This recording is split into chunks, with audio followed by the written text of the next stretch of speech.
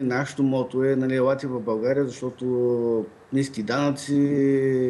Член на Европейския съюз. Да, и тези неща, които са. Но в крайна сметка, а, значи ниските данъци, това е следствие. на Човек трябва да направи печалба, за да може да се възползва от тях. Ако другите условия не позволяват той да направи печалба, дори 0% да му сложи в данък печалба, няма никакъв смисъл от а, това нещо.